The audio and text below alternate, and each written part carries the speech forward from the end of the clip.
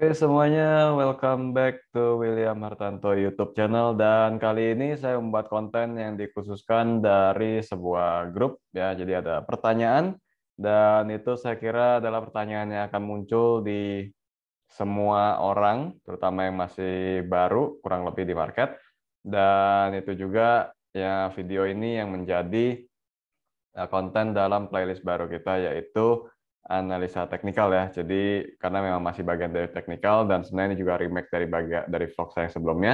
Cuman pada kali ini akan lebih tepat jika dikombinasikan atau dimasukkan dalam playlist analisa teknikal. Jadi di sini saya akan remake kembali tentang pembuatan atau cara menentukan supply and demand zone pada pergerakan harga saham secara teknikal. Dan karena ini baru video ketiga, saya akan mengulas sedikit. Jadi Playlist ini dikhususkan untuk mengupdate atau membuat watchlist saham untuk membantu teman-teman jika ingin mencari saham pilihan secara teknikal. Dan seperti biasa, saya selalu akan memberikan contoh. Ya, saya kasih screen contoh di Zoom ini dan uh, yang difokuskan itu selalu saya ingatkan di batas stop loss ya. Kenapa begitu? Karena kalau sampai batas stop loss-nya kena, ya udah lepas. Berarti bisa jadi analisa saya salah. Tapi kalau batas stop loss nggak kena, Anda ikut beli, tinggal tunggu sampai bat level TP atau resisten-resistennya kena dan Anda bisa buat harga sendiri. Yang penting risk-nya nggak kena, reward-nya aja yang kita tunggu gitu ya. Oke, untuk itu saya akan mulai sedikit teori bahwa tentang supply dan demand zone itu dapatnya dari mana. Sebenarnya ini istilah yang ya kalau bilang istilah enggak sih, maksudnya nama supply dan demand zone ini adalah ya kondisi yang saya temukan dari perdagangan mata uang forex gitu ya. Itu dikarenakan uh, kalau kita fokus support resistance selama ini saham itu kan kita cuma fokus ke satu angka tertentu gitu kan. Uh, level harga yang nggak bisa tembus kita anggap support, kalau di bawah, kalau di atas kita sebut resistance. Nah, kemudian muncul supply sama demand zone. Apalagi ini? Sebenarnya supply sama demand zone itu juga bagian dari support dan resistance. Fokusnya pada saat uh, chart lagi atau pergerakan harga saham lagi sideways dan posisi kalau di bawah itu jadi demand zone, kalau di atas jadi supply zone dan tinggal difokuskan aja pada beberapa level yang menjadi level entry. Kenapa saya lebih sering ketemu ini di perdagangan forex? Karena forex itu akan harganya selalu koma ya. Misalnya kayak USD yen gitu ya. E, misalnya kita bilang supportnya 110, tapi 110-nya itu nggak mungkin selesai di 110 tok gitu loh. Biasanya 110,2, 110,1. Nah, kalau kita menganggap bahwa 110 misalnya jadi level support, mau nggak mau kita harus mempersiapkan jika 110 adalah 110,9 atau 110 nol gitu kan. Jadi kiranya begitu caranya atau dari mana datangnya dimension zone 2. Saya coba share screen untuk membantu Anda tentang pemahaman dari share dari uh, supply dan dimension zone 2 sendiri. Untuk itu saya tadi memberikan contoh USD sama Japanese Yen, kita coba buka lagi untuk melihat hal yang sama apakah terjadi. Oke, pertama ini sedikit update aja saya pernah buat di Outlook dan naik ya. Jadi kalau Anda ada yang trader forex juga kita punya forex and commodity corner dan itu sangat membantu ya bagi beberapa teman dan berguna juga karena supply and demand zone. Nah, kita lihat sini angkanya kan selalu koma ya, kayaknya 117,932. Kalau misalnya ada yang berpendapat bahwa 117 adalah resisten untuk pergerakan mata uang ini. Ya benar, tapi 117 saya itu kan ke mana-mana. Jadi eh, komanya tuh banyak. Jadi harus ada berapa rentang harga supaya jangan sampai fokus pada satu level mau jual nggak kelihatan eh, nggak kena tapi kelihatannya analisanya benar nih gitu oh sentuh 117 tapi misalnya ditunggu 117 999 ternyata cuma sampai 117 931 misalnya lagi berjalan ini Gitu kurang lebih kayak supply sama demand zone. Sekarang kita langsung aja ke bagian saham. Dan di sini saya akan menggunakan contoh sahamnya Tower. By the way, ini saya dapat ide pertanyaannya dari sini. Jadi sini saya ada sebuah grup saham ya khusus untuk uh, sharing saham analisa grup-grup diskusi gitu ya sesuai namanya di sini. Um, RKXWH sharing group, sharing group. Jadi sini saya sama teman saya Erik Kalim. Kalian mungkin tahu juga kalau sering ikut di Clubhouse gitu ya. Itu dia sering sharing-sharing juga dan belakang ini kita collab bikin grup untuk diskusi saham dan kalau Anda mau join itu bisa ya. Saya udah tinggalin nomor kontaknya di WA, tinggal di description Anda tinggal kontak aja untuk request join. Nanti tanya aja caranya gimana gitu. Yang jelas di grup ini kita cukup aktif dan sesuai di sini yang Anda lihat nih ada satu member dari member grup ini namanya Cito ya. Kowil permisi nanya di main zone itu maksudnya gimana ya area beli atau bukan gitu ya.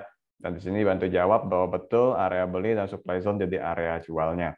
Gitu. Jadi kurang lebih di hari ini nih di 14 Maret 2022 ada obrolan ini dan saya langsung kepikir ini nggak mungkin cuma dia yang kepikiran untuk bertanya. Orang lain pun mungkin akan bertanya-tanya kalau saya sering sebut supply zone, demand zone itu apaan. Nah, berhubung ini cukup umum, tapi nggak semua orang tahu, kita atau saya, saya buatkan videonya, mudah-mudahan membantu Anda semua. Kita balik lagi ke contoh ya. Um, tadi share screen lagi, dan kita ke saham Tower. Oke, disclaimer-nya pertama saya pilih saham tower ini memang karena demand zone-nya memang kelihatan ya, bukan karena jadi watchlist. Tapi kalau Anda misalnya mau jadi watchlist, setelah penjelasan saya silakan dicocokkan aja kondisinya, apakah memang menurut Anda cocok untuk dibeli atau enggak. Jadi maksud saya adalah bukan kepada karena sahamnya dijadikan contoh jadi like beli, enggak. Tapi kalau misalnya Anda dapat contoh di sini, nonton di video ini dan Anda tertarik, silakan disesuaikan lagi strateginya gitu. Jadi ini nggak ada maksud untuk merekomendasikan sama sekali. Uh, berhubung layarnya hitam, saya hilangin volumenya dulu ya, biar lebih jelas candlestick-nya. Nah, sebenarnya supply and demand zone itu pada dasarnya adalah pergerakan yang sideways. Kenapa sideways? Jadi supply sama demand. Uh, sideways itu sendiri kan sebenarnya kan pergerakan yang terbaca ya areanya ya. Maksudnya kayak supportnya di berapa, resistennya berapa, Contohnya kayak ini, di tower ini saya coba gambarin dulu. Garisin dulu lah, maksudnya bukan gambarin.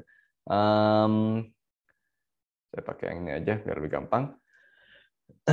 Di sini saham tower ada kenapa saya ambil gambar atau ambil garis di sini di harga 1000 ya, lowestnya itu.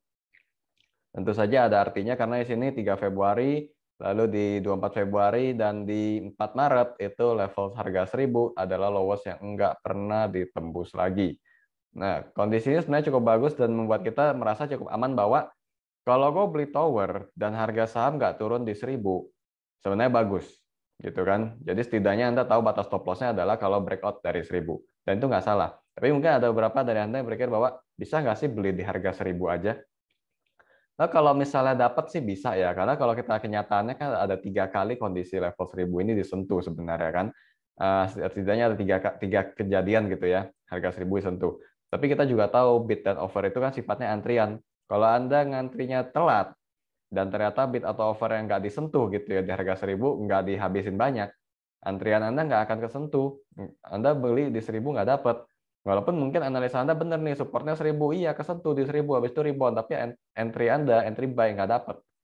Itulah gunanya demand zone di sini. Peran demand zone adalah membantu Anda untuk mengukur beberapa support yang bisa membantu Anda supaya kalau mau entry, misalnya Anda mau nawar jauh, oke, okay, tapi Anda juga bisa lihat kira-kira support yang lebih dekat di berapa dan bisa mulai uh, cicil belinya di area, di area tersebut.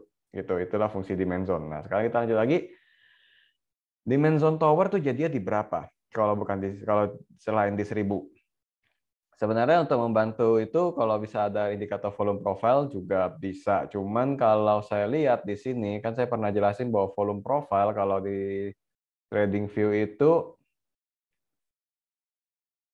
ini ya, nggak nggak free ya. Volume profile. Tapi kalaupun yang ada di bawah sini, ini tuh buatan orang nih, ada username-nya semua.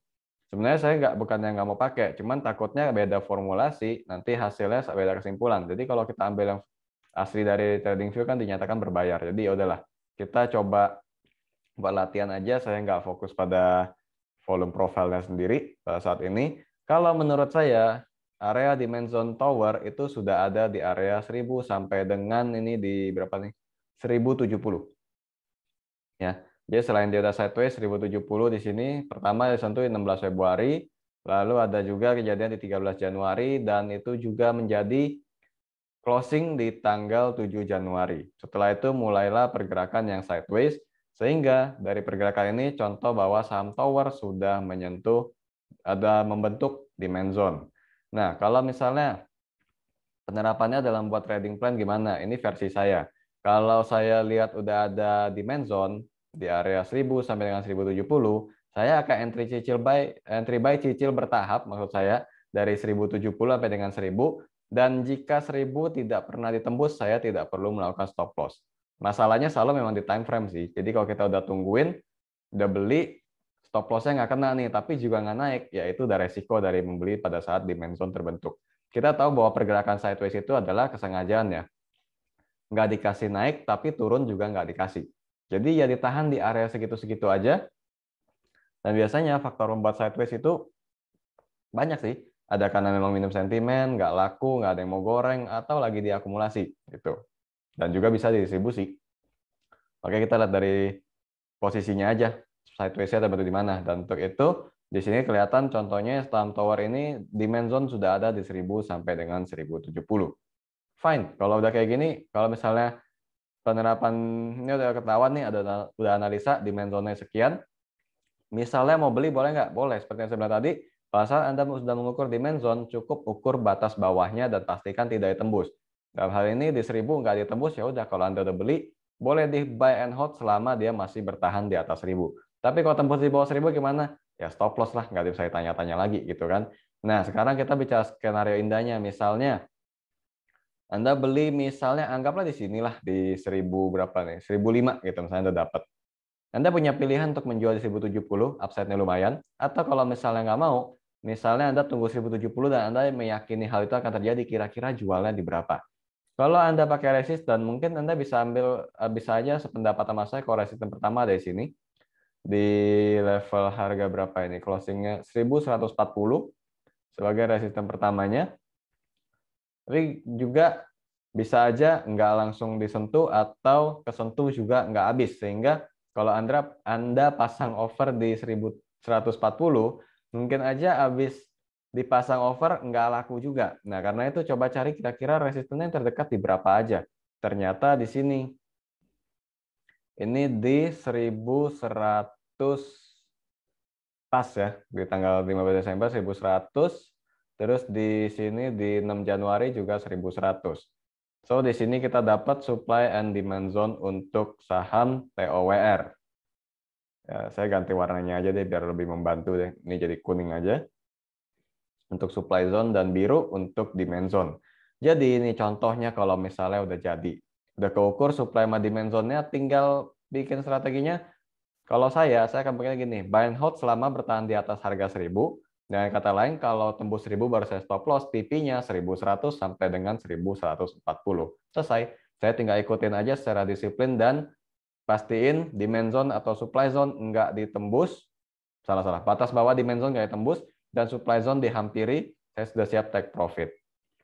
Bagaimana kalau misalnya ternyata ditembus naik lagi? Ya otomatis yang sebelumnya supply zone kan akan jadi demand zone. Nanti kita akan um, mengukur strategi baru lagi ketika supply zone uh, berubah menjadi demand zone. Ini sama aja kayak resisten berubah di breakout jadi support baru dan pastiin selama support nggak tembus ya udah buy and hold lagi. Gitu. Ya kalau misalnya misalnya uh, candlestick tembus di atas 1120 ya tadi, oh 1140. Misalnya bisa tembus ya udah di sini jadi jadi dimension baru nih yang sebelumnya 1100 sampai dengan 1140 kalau anda mau re-entry at the very least dia nggak boleh turun di bawah 1100 bisa disimpan untuk mengukur untuk kemudian targetnya dicarilah supply zone baru di berapapun bisa. Gitu kiranya penerapannya dalam membuat supply dan demand zone. Oke, gimana kiranya cukup gampang kan? Saya coba membuat pengertian sesederhana mungkin dengan penerapan satu saham dan kiranya kalau misalnya kita buat misalnya kalau Anda mau beli nih kayak gimana sih sahamnya, eh, penerapannya kayak gimana, dan mudah-mudahan itu cukup membantu. Eh, ya kira-kira itu aja contohnya satu itu dulu karena memang bukan bukan membuat ulasan khusus saham-saham tertentu sih. Anyway untuk Anda yang mau join grup saya udah taruh nomor WhatsApp-nya untuk Erika di bawah kalau di description. Kalau Anda mau join tinggal hubungin aja dan tanyain bagaimana cara joinnya dan nanti kita bisa ketemu di sana kita cari cuan dan diskusi sama-sama di grup tersebut. Oke saya kira itu aja untuk uh, vlog kali ini. Mudah-mudahan nggak terlalu panjang dan semoga membantu anda semua. Kita ketemu lagi pada vlog selanjutnya. See you again